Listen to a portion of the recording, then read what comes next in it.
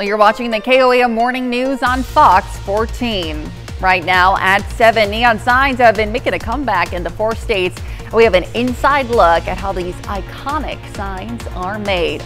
Also, we'll hear from both candidates from the Crawford County Sheriff's race to learn what they hope to bring into their area if elected. And we've got a great looking day today with temperatures reaching upper 70s. Four states most watched news starts now. Well, good morning and welcome to the KOAM Morning News on Fox 14. I'm Elise Snowy. And I'm Lindsay Gaffney, and it is 7 o'clock this Wednesday morning, middle of the week. So, yes. I mean, you can't complain. It's a great, great day. Great day. It's been a great week so far, temperatures wise. I mean, I know it's hot and they're not fall temps, but I mean, we'll be missing them in come January, I'm oh, sure. Yeah. So, I mean, hopefully. I would like to see some cooler temperatures though, but who am I to complain right. about the weather? well, if you drive through Pittsburg, if you're wanting to, you know, take in some fall colors, you may notice more and more neon signs popping up.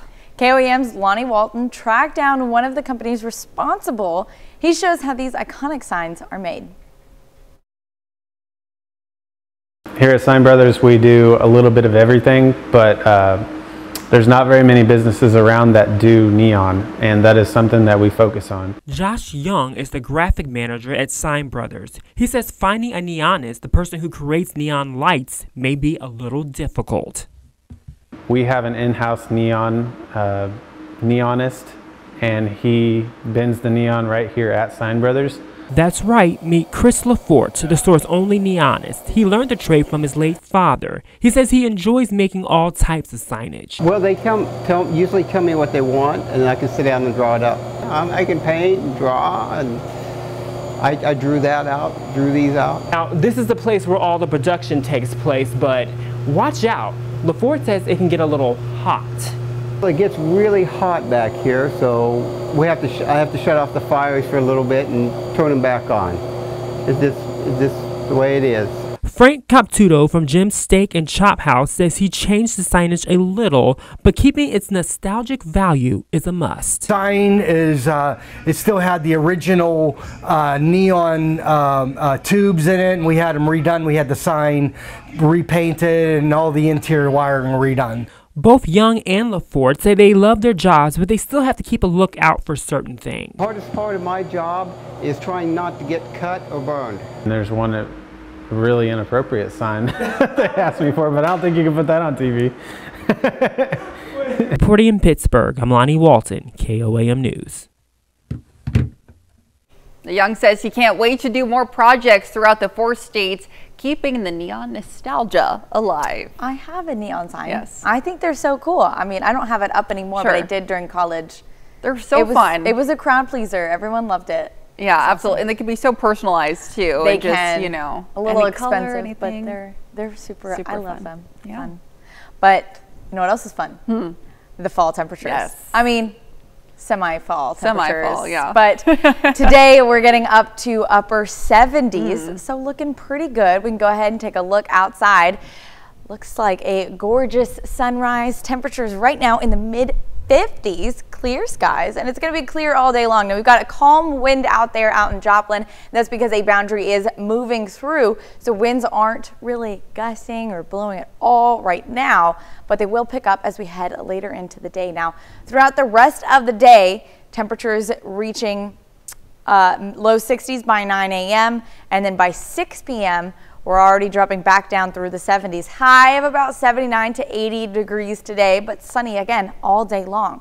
Now we do have that boundary moving through, but we don't have any clouds, no rain chances, at least not today, but we do have rain chances picking up tomorrow pretty slight chances at the start in the morning. Likely those showers are not going to reach the surface, but as we head into the evening after about 9 p.m., we do have shower chances, isolated shower chances picking up.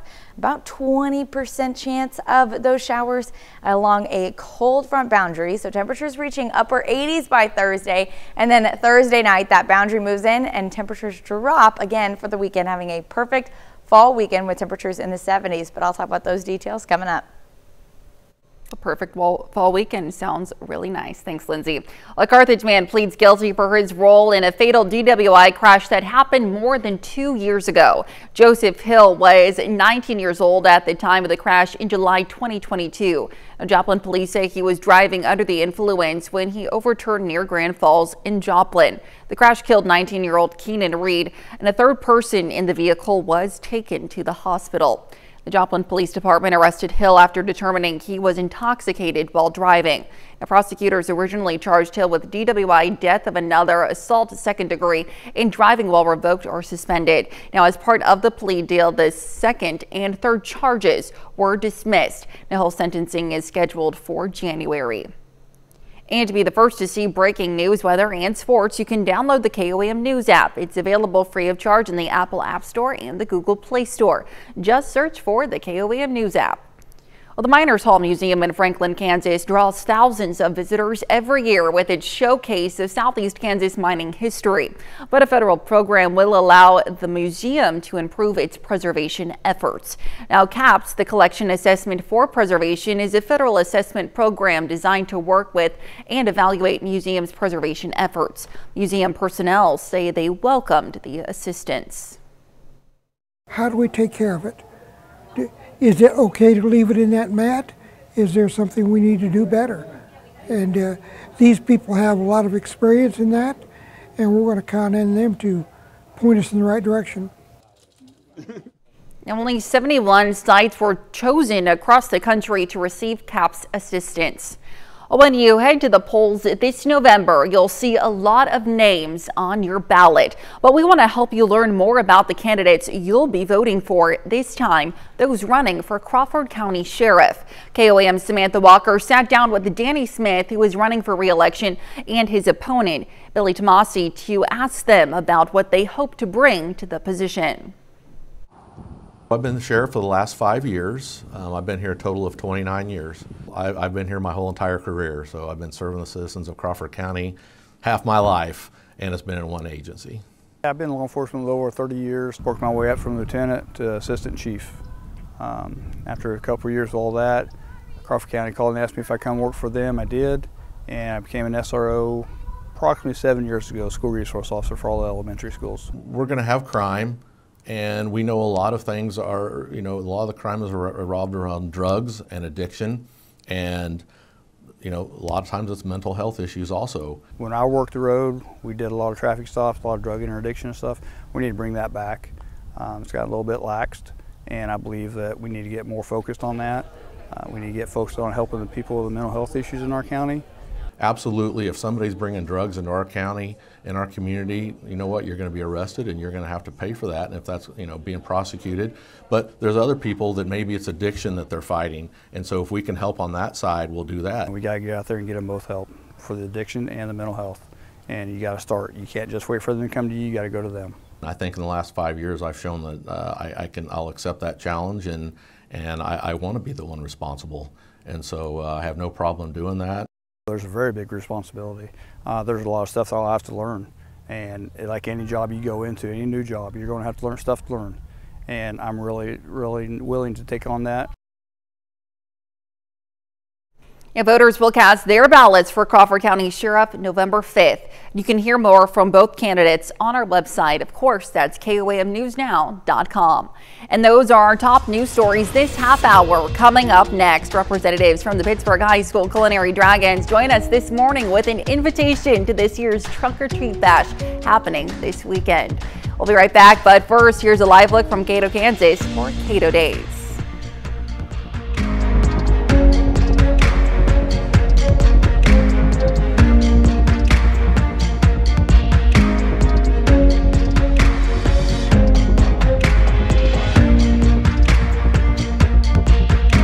Well, the Pittsburg High School Culinary Dragons are inviting you and your family to a trunk and treat bash happening this Wednesday along with the theater's haunted house. Now we have a Chef Anthony Fisher and Wednesday Rayo are with us this morning to share a little insight on what you can expect when you drop by. Welcome to you, Chef and Wednesday. Happy to have you here. Thanks so much. So for those who might know, talk to me a little bit about the trunk or treat bash happening this weekend. The trunk or treat started as a idea from a fellow teacher, Coach Walker, she wanted to do something to encourage her mm. students to get out into the community. And the Culinary Dragons, anybody who's been around Pittsburg knows that we're out in the community a lot. Yes. So for us to support them was just an easy thing to do. And I think it's great. The more our students are involved with the community, inviting them out, showing them that good things come from the high school, Yes. getting new kids to experience things like that, the positive atmosphere that they try to create, it's going to be a blast. We're going to have music and pictures and Lots of fun there. And Wednesday, tell me about your experience prepping for this event and just, you know, doing more things involving the community and getting to see, you know, kids all excited, dressed up in their Halloween costumes. I think it just makes me like think back when I was a kid Mhm. and like I wish that was around when I was a kid because like um I really looked up to the people that were in the high school Yeah. when I was um little and so like it just it made me like really want to do it when I got older and now I am. Absolutely. Now you're the role model Yeah. for those young kids, which is just fantastic. So talk to me um, when and where this bash is going to be held and also about the theater's haunted house that will also be happening at the same time. Well, the trunk or treat will happen on the south side of the building. Uh, it, we it starts at six. We're going to run until at least seven, Okay. maybe a little later. Yes. Depends on how many kids show up. We want to. We'll be there until people stop showing up, and then just show up. If you have a group that wants to take part inside of it with us, uh, show up at 5:30 for setup, and you're more than welcome to come and join us and be a positive influence in our community. Absolutely. Well, thank you both so much for being with us this morning. Happy to have you both.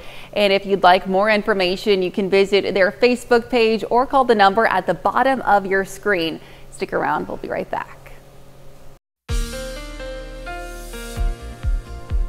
Well, taking a look at downtown Pittsburg, we've got a great looking sunrise out there, mostly clear skies.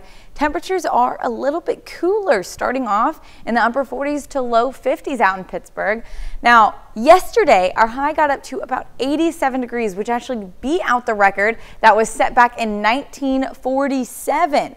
So we were well above average for this time of year. Even our lows are about 15 to 20 degrees above what they should be for this time of year. And we're going to go into the winter season even with above average temperatures all the way through December. But today, we had a wind shift line that came in through this morning, so temperatures dropped down a little bit, not drastically, but back down to the upper 70s. Now, clear skies, so there's no clouds or rain along that boundary, but we do have winds now out of the north northeast, pretty light, about 5 to 10 miles per hour, and then temperatures starting off in the upper 50s, mid to upper 50s today. And our highs really only reaching upper 70s, especially in the central and northern counties. But the further south you go, we're going to get into the low 80s. But winds are still going to be out of the north northeast through the rest of the afternoon. So we've got uh, mostly temperatures in the central and northern counties in that upper 70s degree range from about 76 to 79. Now, the further south you go, the warmer it's going to be because the wind shift line didn't come in as early for those southern counties. So about 80 in Neosho, 83 in Anderson, 85 in Jay and Grove, 80 in Independence and Sedan, 79 in Oswego. So not so bad. It is cooler than yesterday, but we're still, I mean, nearly 10, 15, even 20 degrees above what we should be for this time of year. Now, winds and uh, excuse me, winds start to pick up a little bit later on this evening around 8 to 10 p.m., but temperatures only dropping down to upper 60s by midnight. Now, even though winds are picking up, it's still going to be mostly clear skies throughout the rest of the day. Now, you can see winds gusting up to 20, 25 miles per hour, 28 miles per hour in Joplin, 26 miles per hour in Miami.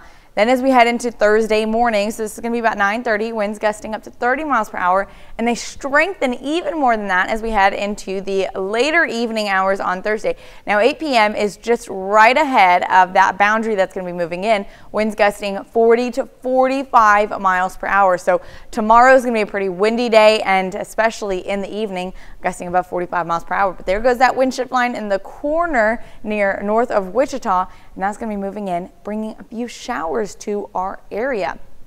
So as we head into Thursday, again, clear skies all day today. Temperatures dropping down to mid 50s tomorrow. A few clouds push in and maybe an isolated shower or two, but likely those showers are not reaching the surface. So then we're flashing forward to Thursday evening where winds start to shift. There goes that wind shift line. This is about 8 p.m. and then clouds and rain showers start to push in. Now the main threat for storms is going to be northeast of Kansas City, but we still are at the tail end of that boundary. Likely some showers pushing in and then temperatures drop for the weekend after tomorrow. Again, upper 80s tomorrow. It's going to be hot. But for the weekend, sunny skies and temperatures in the mid to upper 70s looking really good. And we do have more rain chances coming up just ahead of Halloween, cooling us off for the holiday. But that's a look at your forecast. We'll be right back. We have Will Morris from the Kansas State Research and Extension Office. He's joining us in the studio to talk about the 4-H record book. So welcome to you, Will. Thank you so much for being with us. For those who might not know, talk to me about what 4-H record books are. Yeah, so 4-H record books, they're not always our funnest thing, but sure. are they're one of our most important mm. things. So, you know, as um, us as adults, we have to track things, whether it be our right. finances, bills, different mm. things like that. So, with all of our 4-H projects, you know, record keeping comes in part of that. It, no matter if it is like our livestock projects okay. or maybe some of our indoor projects like our arts and crafts or photography, different things like that. Because you know, everything kind of has a sure. cost associated to it. Mm. So we want kids to know that and kind of know what they're investing in those projects and what they're getting in return. And another big part of that is goal setting within those projects. So um, with our record keeping, mm. every year it starts off, and right now the kids they just turned in last year's books, okay. and they're now um, starting this year's. They are picking what projects they are setting goals right. for the year. Okay. So you know, kids can be in a project from seventh all the way through 18. So we want to see a skill and knowledge progression as that happens. So every year they sit down sure. and they set those goals for the year. And so these record books are, are you know, specific for individuals participating and they're not some club record book, it's yep. individual. Yep. Okay, yeah, wonderful. exactly. So, um, so they get to, they put all that in there, they track what they do throughout sure. the year, the different activities, things they've done. Um, you know, it encourages them to go out and do some public presentations or um, uh, volunteer here, there's Absolutely. all these sort, sort specific a aspects to those that kind of contribute to building those skills and developing them not only within that project area, but also as a person. And the uh, new season for 4-H is in the beginning of this month, mm-hmm. October. Mm -hmm. So kids are, you know, looking at those record books yes. now, setting those goals. For people who might want to participate in 4-H, where can they get more information? Yeah, so they just contact their local extension office, and um, they'll help uh, walk them through the process, talk about what clubs they may be interested in, and what they can do to get signed up. Absolutely. Well, thank you so much for being with us this morning. Thank Stick you. around. We'll be right back. The four states most watched news starts now. Welcome back to the KOAM Morning News on Fox 14. It's currently 727. I'm Elise Snowy. The McDonald County, Missouri School District rolled into National School Bus Safety Week with a unique and hands-on training exercise. Now, the new program, Bus Helpers, empower selected students to assist bus drivers in the case of an emergency. With parental permission and approval from school personnel, these students received trained on critical emergency procedures, including how to stop the bus, use the radio, and operate the safety equipment on board. Students are selected by the driver himself uh, as responsible students that are willing to um, help with that in case of emergency. So yes, they're hand selected by the drivers.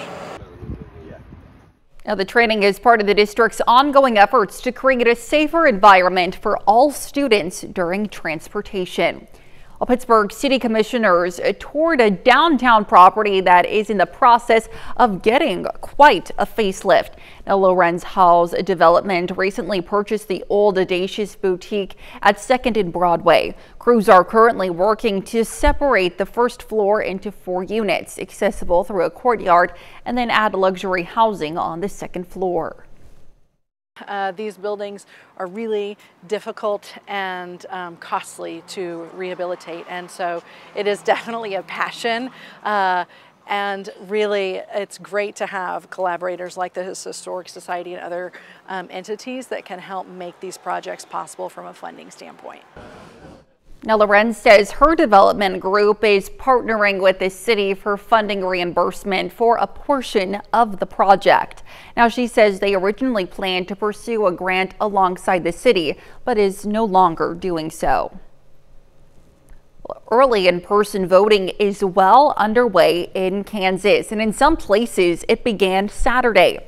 Voters cast ballots at the Bicknell Center in Pittsburg yesterday, where a poll worker says turnout was well ahead of what they typically see for early voting. Now, early polling locations will change from day to day in various Kansas counties. Just under two weeks remain in the 2024 campaigns, and plenty of people are already casting their votes. No excuse absentee voting began yesterday in Missouri. KOAM's Melissa Alexis spoke to some early voters in Jasper County. It is the most important election I've ever voted in. Lisa Kafer is one of the people getting a head start on voting in Missouri. It's been weighing heavy on my heart, and I wanted to just make that make that happen as quick as I possibly could.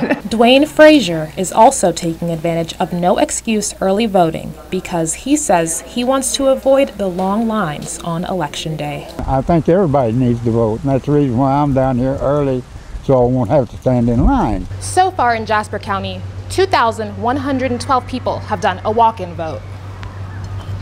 But October 22nd begins no excuse absentee voting, which will continue through November 4th. Get in your car, come to the courthouse, the courts building in Joplin. Uh, takes a few minutes and you're on your way. Jasper County Clerk Charlie Davis wants to remind people that early voting is a secure way to vote. This is the most secure way because number one, we do check your photo ID. Whether people cast their votes early or wait until November 5th, they need to bring an acceptable form of ID including a Missouri driver or non driver's license, military ID, or a U.S. passport. Reporting in Jasper County, Melissa Alexis, KOAM News. Now, election officials ask that voters do not wear any political attire like hats or buttons at the polling location. And to find more voting information for your area, just scan this QR code. It'll take you to election resources on our website, KOAMNewsNow.com. You'll be able to find all sorts of election info, including polling places and schedules. And you can even check to see if you're registered to vote. Now let's check in with Lindsay Gaffney for a quick look at the forecast.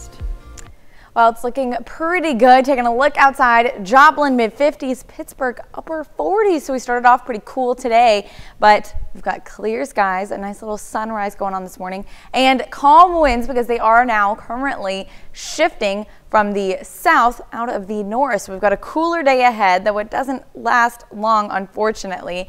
Today is looking good though. Temperatures in the upper 70s, possibly reaching just about 80 degrees in those central counties. Northern counties, upper 70s, and southern counties, low 80s for our high today. But everyone is going to remain mostly sunny. We don't have any clouds or any rain along that boundary that's passing currently. But ahead of uh, some stronger wind gusts and a very warm day tomorrow. We do have more rain chances kicking off along a, another cold front boundary that's moving in late Thursday evening. As you can see, we've got some scattered shower chances and some isolated shower chances Thursday night into early Friday morning. So we're looking pretty good with rain chances in the forecast. And that leads us to have a pretty nice cooler weekend ahead. Sunny skies and temperatures back down into the 70s. But I'll have those details coming up. Well, a fashion and modeling industry giant is now facing charges for sex trafficking. Ex-Abercrombie Fitch CEO Micah Jeffries, his longtime partner and an employee, all arrested this week and accused of exploiting men for years. Fox News correspondent Alexis McAdams has the story. Sexually exploiting vulnerable human beings is a crime Former Abercrombie & Fitch CEO Mike Jeffries is in custody, arrested in Florida on sex trafficking and interstate prostitution charges. His partner and an employee also behind bars. All three accused of luring young men into sex parties held around the world, sometimes promising those men modeling work. He was using his power, his wealth, and his influence to traffic men for his own sexual pleasure and that of his romantic partner, Matthew Smith. The 16 count indictment unsealed by federal prosecutors in New York alleges the men used fraud and coercion to exploit their victims, reportedly giving them alcohol, muscle relaxers, and drugs during the parties. Many say they were also threatened and forced to sign non disclosure agreements.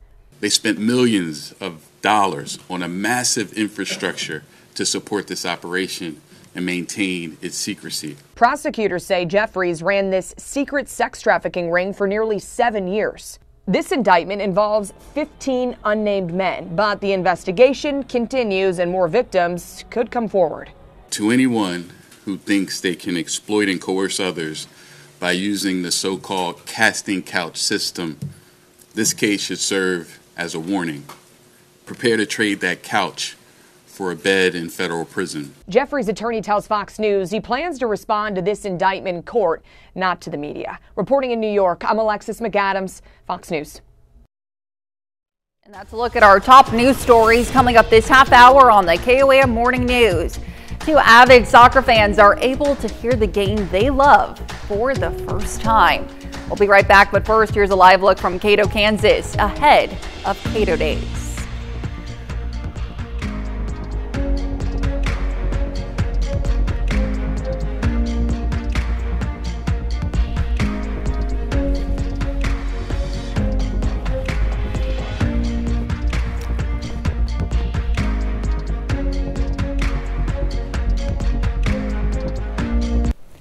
On Consumer Watch this morning. Two budget airlines explore new merger options. The Wall Street Journal report says Frontier Airlines is looking into a renewed bid to merge with Spirit Airlines. This comes after a previous failed merger between Spirit and JetBlue that was struck down by the federal judge who said the potential merger would limit competition. Now, Spirit is also in discussion with bondholders over a possible bankruptcy filing. And Target says it's cutting prices again, this time on 2,000 items in both its own brands and name brand products, including food, beverages, essentials, and holiday gifts. Now, Target lowered prices on at least 5,000 products in May, and it said it was on track to lower prices on more than 10,000 items by the end of the holiday season. Well, Ford is warning electric vehicle owners to stop using adapters for Tesla's supercharger network. Ford began offering free adapters for EV owners in February. Now the company is warning it could reduce charging speeds over time or even cause permanent damage to the charge port. Affected customers are urged to make sure their address is updated on Ford's website tomorrow to receive a free replacement adapter starting October 28th. The feds are trying to help Americans feel secure in their online purchases by banning fake ads in cyberspace. Fox News' Jared Halpern has more from Washington. We must be clear-eyed and vigilant about the threats emerging from emerging technologies. Have you ever bought something online based on a review, only to find the product isn't as advertised. It happens to millions of Americans each year, and now the Federal Trade Commission is trying to make it a thing of the past. On Tuesday, an FTC rule came into effect banning the use of fake online reviews. The agency says it's hoping to restore consumer trust in online shopping. Who's training them? What's the source of the data? And until we know those things, it's going to be very hard for somebody, um, I think, to rely on them. The rule was first announced back in August that essentially criminalizes the sale or purchase of online reviews, targeting fake reviews written by so called bots, people who don't really exist, and bans reviews created by artificial intelligence, an area where the law has been scrambling to keep up with technology. The FTC has failed to keep pace with dramatic shifts in technology and data driven business practices. And the FTC says this is just the first step as it revamps its efforts to protect Americans from getting cheated, with lawmakers applauding the move as the best way to promote fair, honest, and competitive online markets. Vulnerable consumers who have been defrauded by scammers deserve an enforcer with a fulsome toolbox to protect them. Under the new rule, the FTC's maximum penalty for publishing a fake review is a fine of $51,000. In Washington, Jared Halpern, Fox News. And those are our top consumer stories. Let's take a look at the market prices before the opening bell.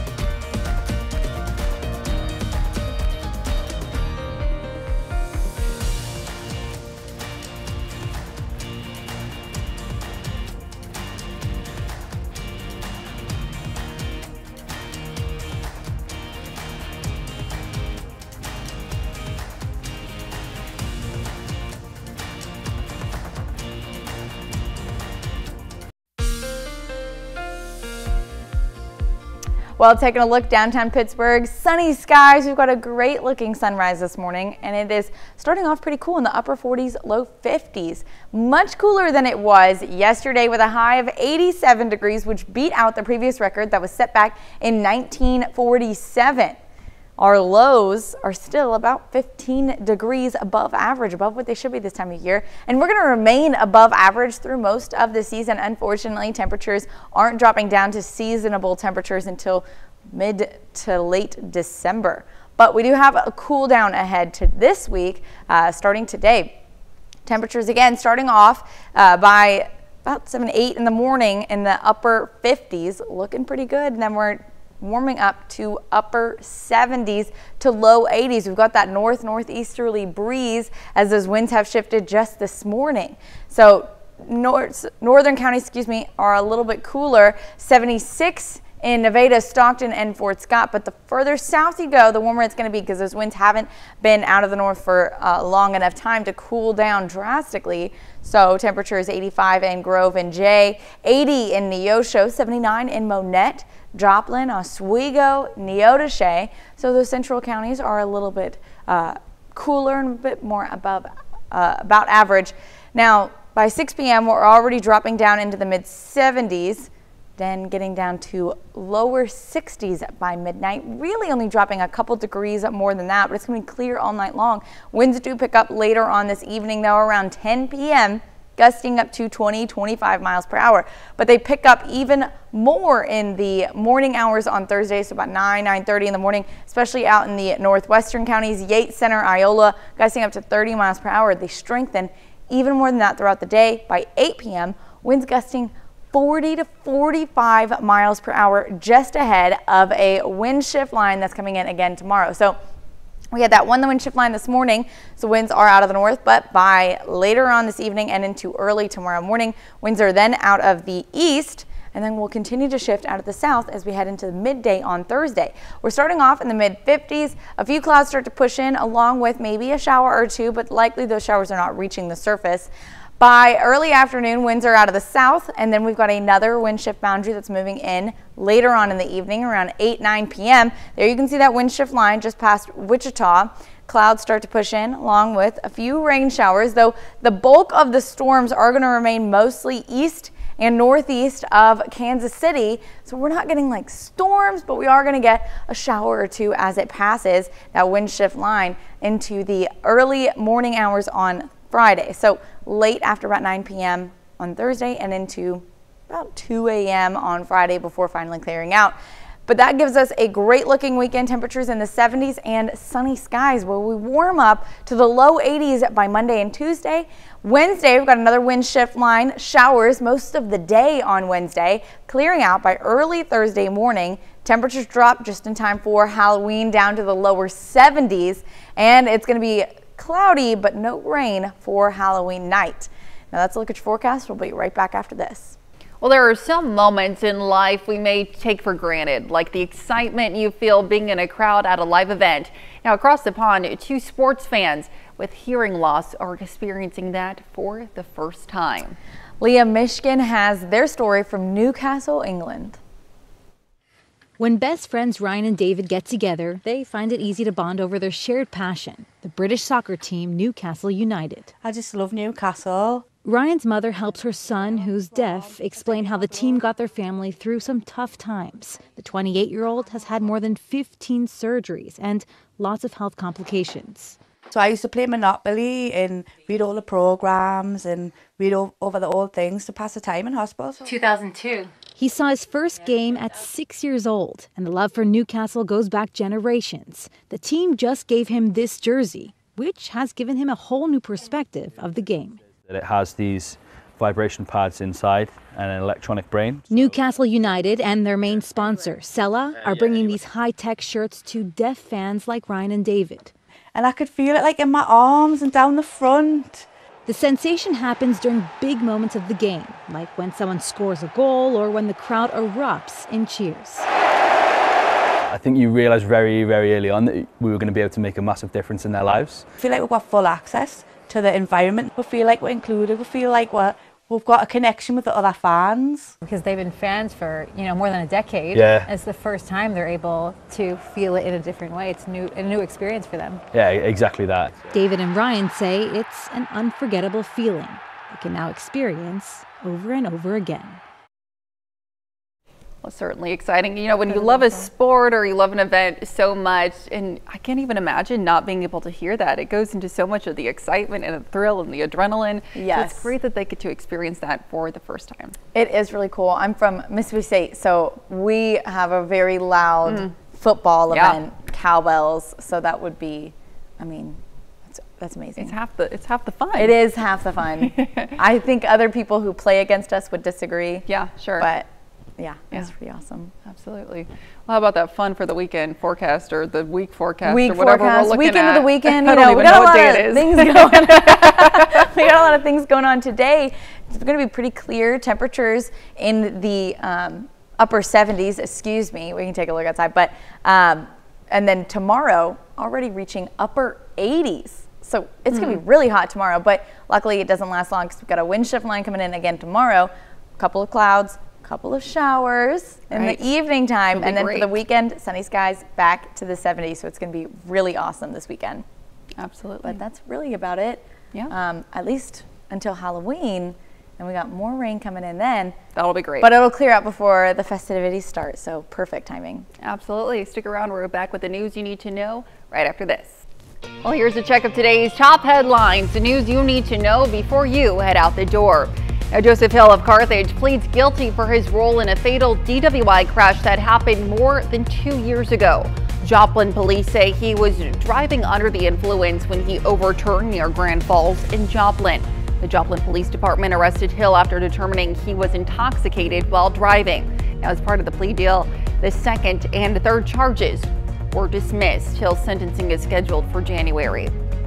The Miners Hall Museum in Franklin, Kansas is seeking help from a federal program that will allow the museum to improve its preservation efforts. The Collection Assessment for Preservation is a federal assessment program designed to work with and evaluate museums' preservation efforts. And the McDonald County, Missouri School District rolled into a national school bus safety League with a unique and hands-on training experience. The new program, Bus Helpers, empowers selected students to assist bus drivers in the case of an emergency. These students received training in a combination of areas on bus operations. The training is part of the district's efforts to create a safer environment. Now we've got temperatures today reaching upper 70s, low 80s, sunny skies all day long. Tomorrow, warming up to the upper 80s. It's going to be really hot tomorrow, but we do have another wind shift line coming in late in the evening with a few shower chances. That's going to cool us off for the weekend. Back down to the 70s, sunny skies again, warming up to low 80s by next week. And then another wind shift line, a cold front ahead of Halloween. That'll be Wednesday and into early Thursday morning, clearing out for all of the festivities. Now, Friday is going to be November and it's going to be 71 degrees, which Yes. I mean, I grew up in part in Minnesota and that is just unheard of, unbelievable. It's probably already snowing there. It- so I'm sure it is. I have family um, from Minnesota, and every time they would come down to visit us, Yeah. um, I would be wrapped up like Right, December. yeah. I'd be wrapped up in like multiple layers and uh, my thick jackets, and they're wearing shorts and t-shirts. Right. And I'm like, that's crazy. And Well, they're you know. this feels fantastic. Yeah, so it's we like should, 10 we should, below. you know, not take this for granted. We should enjoy Yes. it while it's here. Well, leaves and hues of burnt orange and red fell in Hopkinton, Massachusetts as part of the state hit peak fall color. Now, this footage was filmed in Hopkinton, located 25 miles west of Boston on Tuesday morning. According to Fall Foliage Prediction Map, the New England region reached peak fall color in mid-late October. Beautiful. I think we're there. I don't, I've been driving around and it's Yeah. gorgeous Yeah, we're. I there. love seeing all the Looks colors. great. Well, thank you so much for letting us put the good in your morning. We'll be back with more news and weather at noon. Have a great rest of your morning.